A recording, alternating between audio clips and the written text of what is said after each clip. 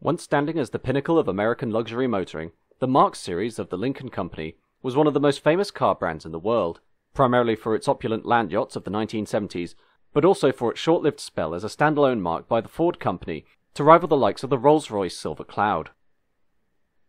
Today, though, the Mark brand has fallen silent in the motoring world. The rapid decline of the car market during the 1980s, and the influence of European and Japanese luxury models, gradually chipping away at its exclusivity until all that was left was a name, and very little else to help the model stand out against its foreign competition. The Lincoln Motor Company was originally formed in August 1917 by American entrepreneur Henry Martin Leland, one of the original founders of the Cadillac Company, who first began creating aero engines for the war effort before expanding into car production in 1920 with the Model L, a beautiful machine that was among the most opulent luxury tourers money could buy.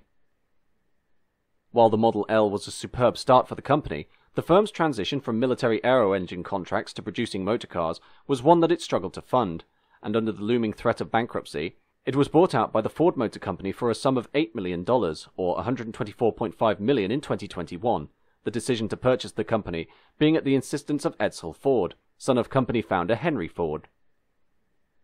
Early on, the intention was for the Lincoln Mark to sit above Ford within the motoring market, being the face of the company's ultra luxury models that would compete with Cadillac, which had been acquired by General Motors in 1909, the original Model L seeing production throughout the 1920s in a variety of guises that were synonymous with the glamour scene of the decade, followed in the 1930s by the equally sublime Model K.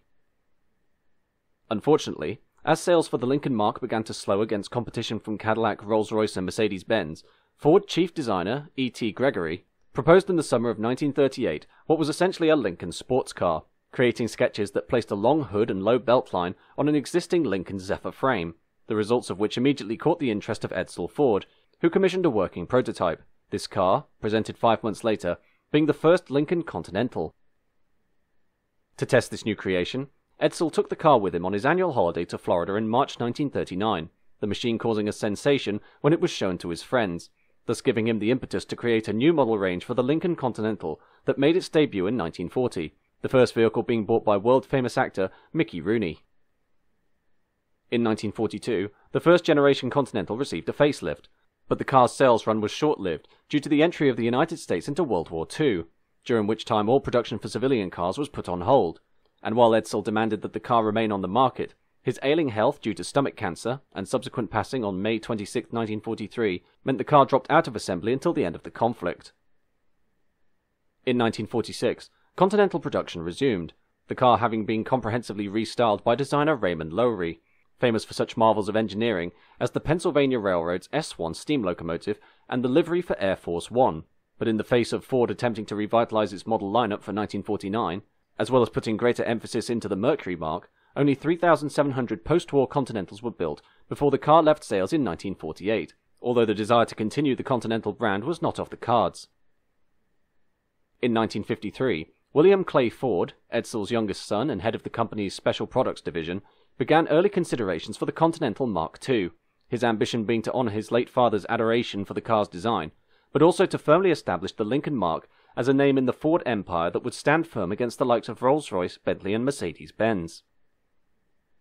Therefore, William Ford, with the assistance of industrial designer Gordon Buehrig, the brainchild behind the Cord 810, created an innovative unit body platform which allowed the interior to be dropped down into the pan, making for a much lower car with no loss in headroom, with former Packard stylist John Reinhart being tasked with creating the car's external styling, providing him a free hand to sculpt a machine of bold proportions, including a long hood, short deck, and elegant understated lines.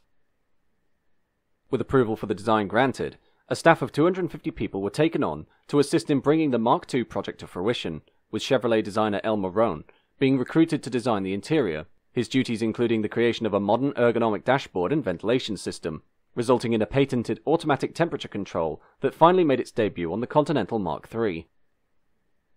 For power, in order to maintain the small block V12s that had been used in the Continentals of the 1940s, the engine bay was designed to accommodate such a unit, but as no V12s were available at the time within the Ford company, the final power plant used was the Lincoln Y block V8 engine that had made its debut in 1952, producing 285 horsepower and giving the car a 0 to 60 time of 10.6 seconds and a top speed of 123 miles an hour. The equivalent Silver Cloud having a 0 to 60 time of 13.5 seconds and a top speed of 102 miles an hour.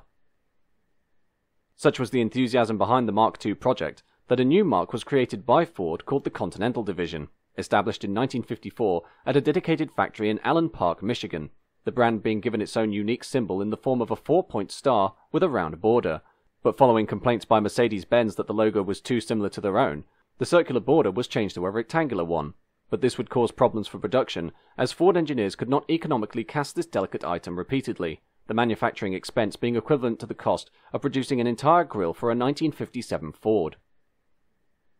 Production of the first units began in January 1955, the initial batch of 300 units being sent to select Lincoln dealers as static displays in order to drum up customer interest, none of which were to be sold until the new car pipeline had been filled, but dealers were hesitant to take on the machine and its $10,000 price tag, equal to $96,000 in 2021. As a result, the price sold to Lincoln dealers was reduced to $7,500, but in the face of the project's incredible $21 million development costs, every Mark II sold was done so at a loss, production expenses for this ornate machine being $8,500 per unit, which didn't sit well with the management, especially Ford's head of automotive operations, Robert McNamara, who sought to direct the firm in a manner that increased its efficiency in order to maximize profits.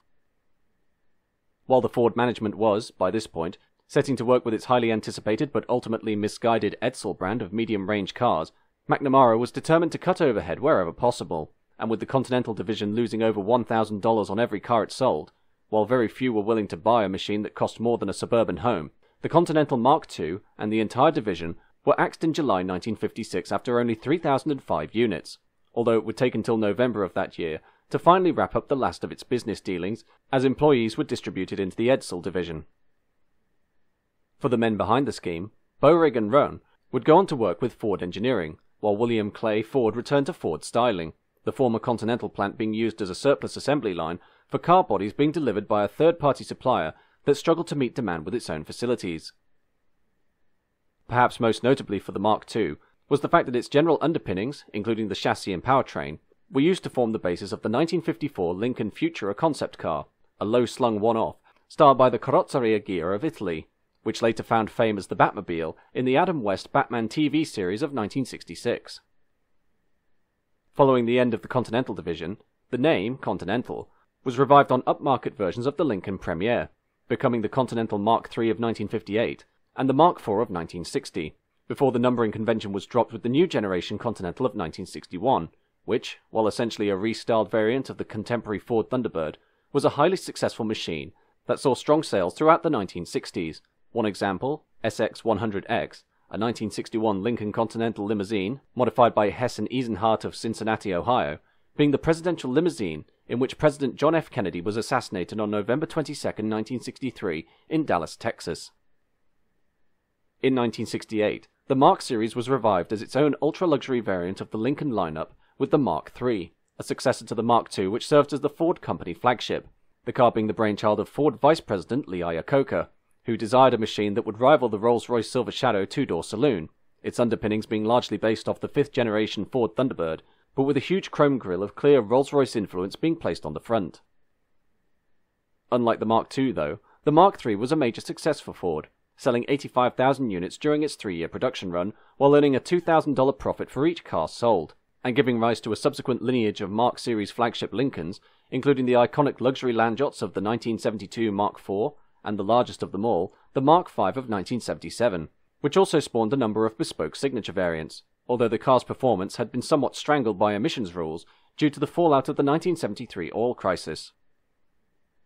This, unfortunately, set the tone for the Mark series as it entered the 1980s, the Mark VI of 1980 being smaller and lacking much of the style that had made the earlier Mark III, IV, and V the face of American luxury motoring, while the later Mark VII of 1983 restricted the dimensions significantly in order to help it compete with the rising influence of the Mercedes S Class and the BMW 7 Series.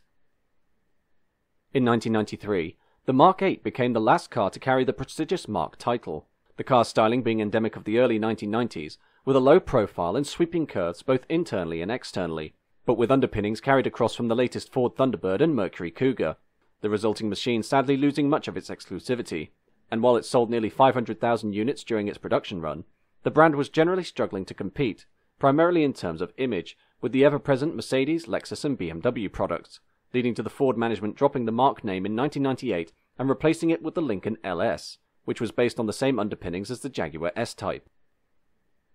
As for the Continental name, this had existed alongside the exclusive Mark series on lower-end full-size sedans since the brands had been separated in 1968, and would remain in circulation until 2002 on the ninth generation model that was based on the Ford Taurus, before that too was dropped and spiritually replaced in the product lineup by the Lincoln MKS of 2009.